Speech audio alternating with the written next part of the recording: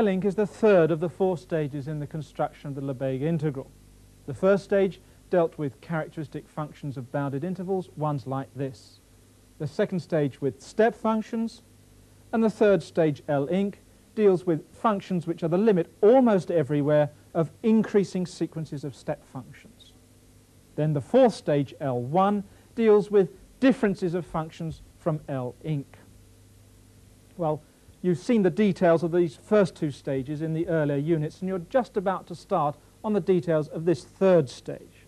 So what we thought we'd do here is not to look at the proofs of any of the theorems in the unit, but rather to concentrate on the definition of the integral in L-inc and try and show you why the various ingredients occur in that definition. Well, because of our constructive approach, we've got to be quite clear what we mean by the integral in our first two stages. So let's just recap that. We started with functions of this kind, characteristic functions of bounded intervals like i, and then for any function of this kind, we defined the integral to be the length of this interval. That is just the area here. We then moved on to step functions. Now, a step function is a linear combination of characteristic functions of bounded intervals. And for each of these, we define the integral in the obvious way. Given any expression for a step function as a linear combination of characteristic functions, then the integral of phi is just defined as the same linear combination of the separate integrals. Well, before we look at the details of the definition at this third stage, Roger Duke's going to remind us of the properties that we wanted this integral to have. Remember, we want limits and integrals to commute. So if we have some sequence of functions converging to some limit function, then we want the integral of our limit function to be just as limit of our sequence of integrals. Well, that's what we want. So following our constructive approach, we're going to take sequences of step functions because we already know how to integrate step functions. And we're going to define integrals of limits of these step functions to be just the limit of this sequence of integrals. And it's here where our troubles begin because to make this definition work, we've got to be selective in the types of sequences of step functions we take here. And also we're going to have to modify our concepts about the convergence of functions. Well, let's have a look at just precisely what restrictions we placed on our step functions last time. Well, this is the precise definition that you saw in the last program.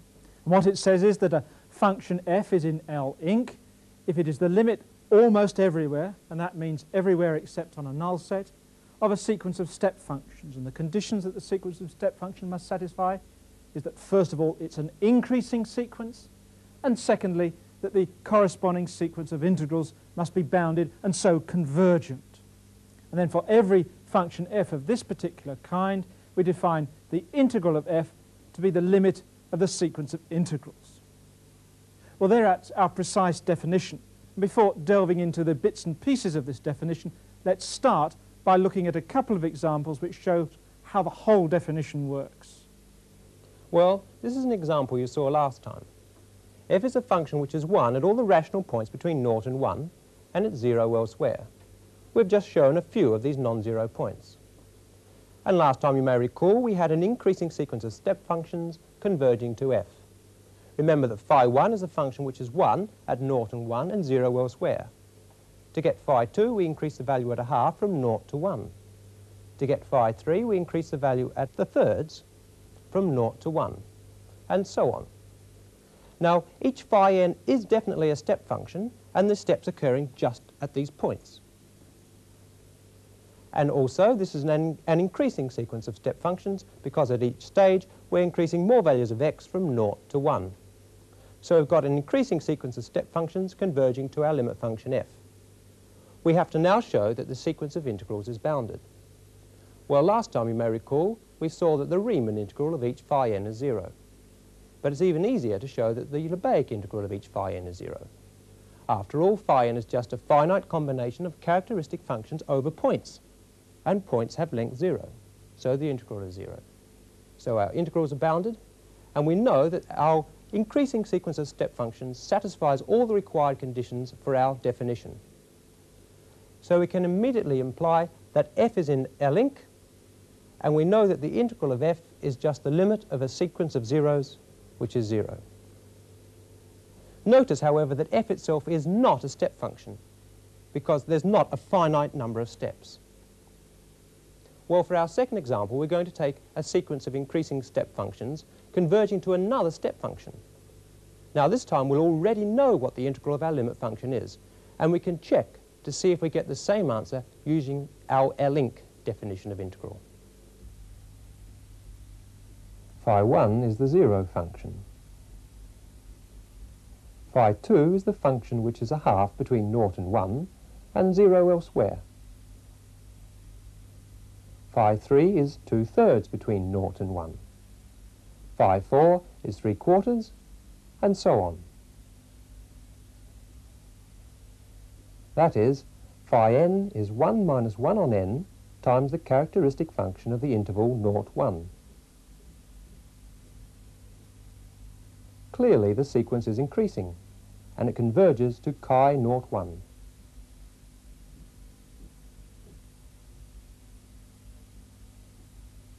Now we already know that the integral of chi naught 1 is just 1. So that's the integral of our limit function as a step function. But the limit of the separate integrals is also 1, because the integral of phi n is 1 minus 1 over n, and the limit of this is 1. So in this case, everything checks. The integral of our limit function is 1, both when we treat this limit function as a step function and when we use our L-inc definition of integral. Well, there you've seen the definition in action. And it's about time we started looking at the various bits and pieces that go into its makeup. See, there are a number of points that can be a bit bothersome. The first of all is first one is related to this concept of convergence almost everywhere. Now, you might have noticed that in the two examples that Roger has just looked at, we had convergence everywhere. There were no convergence problems. And the next few examples that we're going to show you will also not have those convergence problems because we want to leave the discussion of those to the end of the program. What we want to do immediately is to look at these conditions on the sequence of step functions and see if we can do anything about those. Now, you might remember from the last program that Alan Solomon apparently introduced these conditions solely to ensure that this sequence of real numbers converged, so that there was some number that we could take to be the limit the, of the sequence, and so the integral of whatever function was the limit of the sequence of step functions. But these conditions do a little bit more than that, as we shall see, if we try to vary these conditions. One possibility would be to try and impose directly the condition that this sequence of integrals was convergent. So let's try that and see what in fact happens.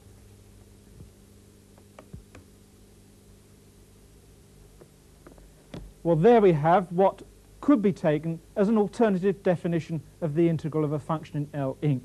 Let's try and see what happens if we do try and use this as a definition. Well, this time we're going to take a sequence of step functions which converges everywhere to the zero function. Here are the first two functions in our sequence. Phi 1 is 1 on the open interval 0, 1, and 0 elsewhere, so its integral is 1. phi 2 is 2 on the open interval 0 to half, so again its integral is 1. Well, let's have a look at the rest of the sequence. Phi 3 has height 3 and width 1 third. Again, the integral is 1. Phi 4 has height 4 and width a quarter. The integral is again 1. So at each stage, our functions are getting taller and proportionately thinner, but the integral remains 1. Notice that our functions are not increasing. At each stage, we get some values which decrease. For example, when we go from phi 3 to phi 4, all these values decrease to 0. Well, it's not hard to show that the limit function of this sequence is the zero function. If we take any x in here, then by going far enough along the sequence, we can be sure that all the remaining functions in the sequence will be zero at that point. For example, if x is one third, then phi 3x onwards is zero. If x was 1 over 1,000, say, phi 1,000x onwards would be zero. And of course, when x is equal to zero, then all the phi's are zero here by definition. So our limit function is the zero function, and we know the integral of our limit function is just the integral of zero, which is zero. And this is not equal to the limit of our sequence of integrals, which is one. So in this case, we have an example where the integral of our limit function is definitely not equal to the limit of our sequence of integrals. So something has gone wrong trying to use this simpler form of a definition. And in fact, it's over here that we've got our troubles because in the example that Roger has just shown you, we did not have an increasing sequence of step functions. Well, there are two conditions here, one on the sequence of step functions, one on their integrals. We've tried replacing these two conditions by a single condition on the integrals. Now let's try things the other way around and just look at a single condition on the step functions. You see, this condition automatically implies that this sequence is an increasing sequence of real numbers. So this bounded condition just ensured convergence. Suppose we try taking this bounded condition away and see whether the single condition on the sequence of step functions implies the convergence of the integrals. Okay, well let's try that with a sequence of characteristic functions of intervals. Phi n is the characteristic function of the closed interval minus n n it's easy to see that the sequence of integrals is unbounded. The integral of phi 1 is 2. This integral is 4. Here the integral is 6, and so on. The sequence of integrals does not converge. But the sequence of step functions does converge to a very simple limit function. A constant function 1. So we certainly do have an increasing sequence here. As we go from each stage, more and more values of x are increasing from 0 to 1. But we can't let the integral of our limit function be just the limit of our sequence of integrals. Because in this case, that sequence of integrals is unbounded. It diverges. So if we want our integral to have this property down here, it's quite clear that we can't have just that condition on its own or that condition up the top on its own.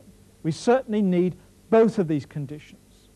So these conditions together seem to do more than just assert the convergence of this sequence of real numbers. They actually make the integral definition of the integral make sense. But in fact, they do much more than that because they also help us over our other problem, the problem with convergence. You see, what we're trying to do is to form L inc as all the functions we get in this way.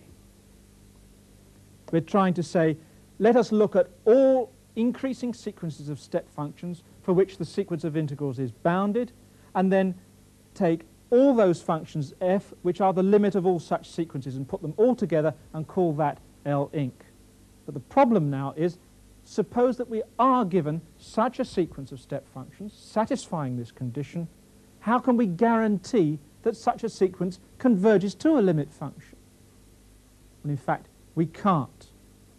And to see the sort of trouble that we can get into, Roger's got another example for us. Well, here we have the first two functions in our sequence. Phi 1 is 1 in here, except at 0, where it's 0.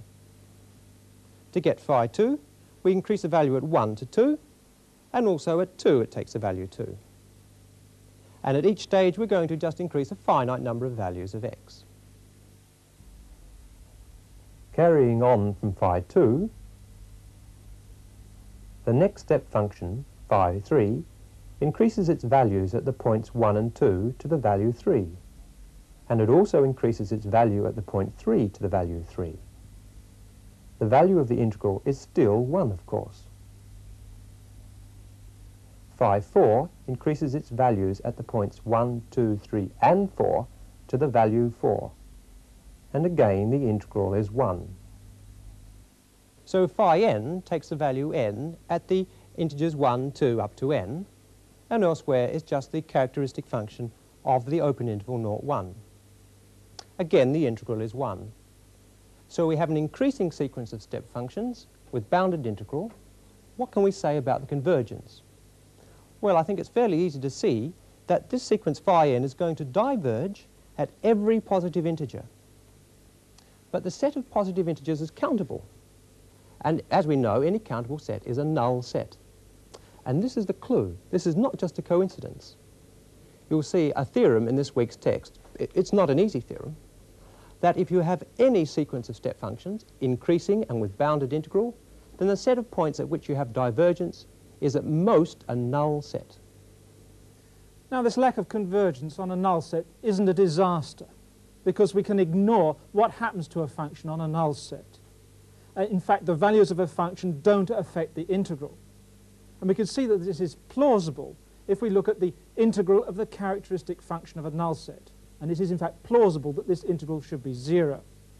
We can see this if we recall the definition of a null set. If n is a null set, then for any epsilon, n can be covered by intervals with total length less than epsilon. Now consider the characteristic function of n. The area under its graph ought to be less than the sum of the areas of these rectangles which is again less than epsilon. This must hold for all epsilon greater than naught. So the integral ought to be zero. And it is as a consequence of the definition that we've actually got.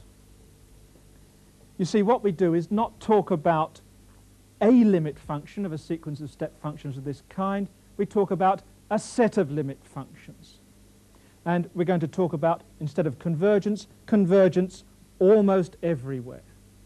So what we're going to say is that a function f is in L inc if there is an increasing sequence of step functions such that its sequence of integrals is bounded and for which f is the limit of that sequence almost everywhere, that is except on a null set. Then for each f of that kind we define the integral of f to be the limit of the integral values. Well, that's our definition. Let's see what that means for the example Roger's just been looking at. Well, remember, this is our function phi n. And on this board, we've represented the limit of the sequence phi nx. Remember, we get divergence at all the positive integers. Well, now, suppose I define a function f like this. In other words, phi x converges everywhere to a function f except at the positive integers. Well, now remember, the positive integers is a null set. So phi x converges everywhere except on a null set to this function. That is, converges almost everywhere. So we want the integral of our function f to be just the limit of our sequence of integrals, which gives us 1. Okay, well that's one function almost everywhere. What happens if we start shifting these points about by some arbitrary process? We're going to get some new function, g, say. Well, still, g is going to be the limit almost everywhere of our sequence phi n. So again, the integral is going to be 1. Now let's think carefully what we've done here. The function g takes the limit phi nx when that limit exists. And when the limit doesn't exist at the positive integers, we've defined our function g arbitrarily. Well, now let's suppose we do something like this. Now, phi n x still converges to 1 here, but I've taken the value of the function to be something different. We don't want the value of our integral to be different just because of this one point, and our definition agrees with us. Because still phi n x converges almost everywhere to this function, because the set of positive integers plus this one point is still a null set. In fact, I could have varied this function at every rational in here, and still phi n x will converge almost everywhere to my function, because the set of rationals plus the positive integers is still a null set. So what the almost everywhere means in our definition is not just that the set of points where the sequence of step functions fails to converge is a null set. It means more than that. It means that if we want to say that a function f is the limit almost everywhere of a sequence of step functions, then the set of points at which this sequence fails to converge to the values of the function f, that set must be a null set. And of course, this set of points is a null set because of two contributions. If we look at any particular point where this sequence doesn't converge to the value of f, it can do so for two reasons. The first reason could be it's a point where this sequence of step functions does not converge. And secondly, it could be a point where the sequence does converge, but to a value which is not the value of the function at that particular point. So that's our definition. And let's sort of close with one more consequence of this definition, and it relates to the integral of the characteristic function of a null set that we discussed earlier, where we said it was plausible that the integral be zero. We can now prove that from our definition. And the way I'm going to do it is to choose a sequence of step functions, and I'm going to take each phi n to be the zero step function. So what, what I get here is a sequence of zeros which converges to zero. Now if I do take f to be the characteristic function of any null set, then it is the limit almost everywhere of this sequence of zero step functions. My definition now implies that the integral of f must be the limit of the sequence of integrals. So we have now proved directly from our definition that the integral of the characteristic function of a null set is zero.